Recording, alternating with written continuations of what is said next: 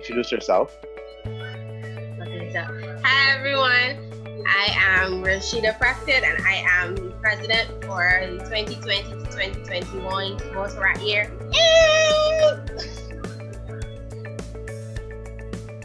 When you hear the term refined, what comes to mind?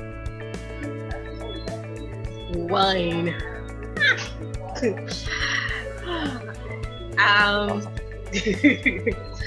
but in terms of speaking in terms of Rotaract, uh, refined is a honing of your skills. Sometimes what I recognize is that I realize more about myself having been a part of Rotaract. You know, I may not have taken that step with leadership skills, but person saw that within me that I may not have seen within myself. And then, you know, you take the steps necessary and you have the trainings and stuff like that to help you get that, get to that point.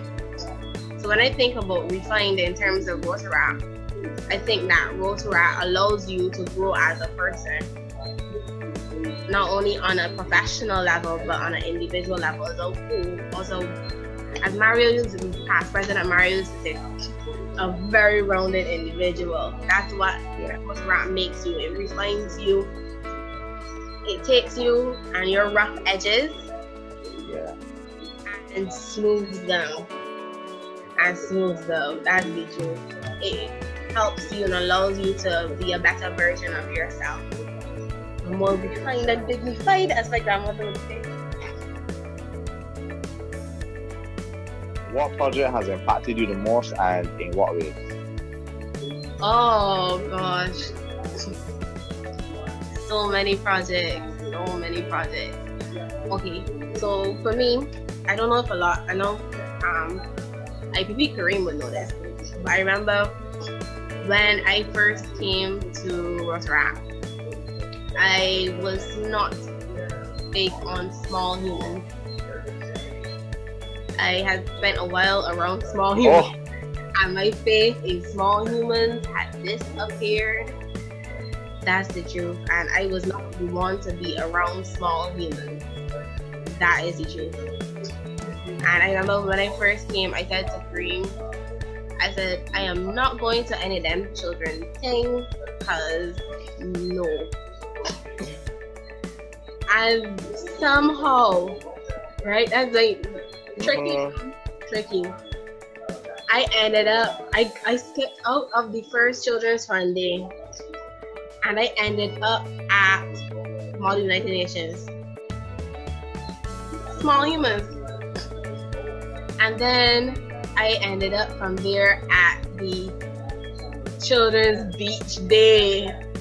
And those kids, oh my heart, spending uh-huh. that with them. I remember that. spending that first that first day with them, that was oh my heart. That it changed something within me. That's the truth.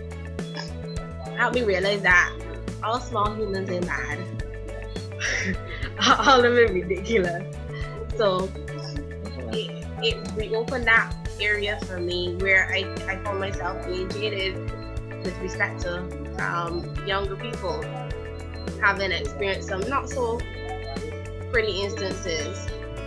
Um, it opened back up to, in my eyes that you know the reality is is that there's so much that we can do for, for persons and for children to ensure that the experiences that I ended up having with some children are not experiences that everyone have, has.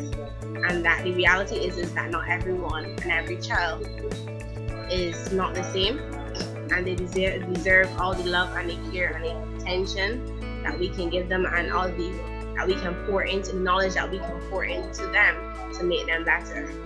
So now you will find out for me as one person for signing up for anything to do with the, the children, and I'll, I'll be all for it.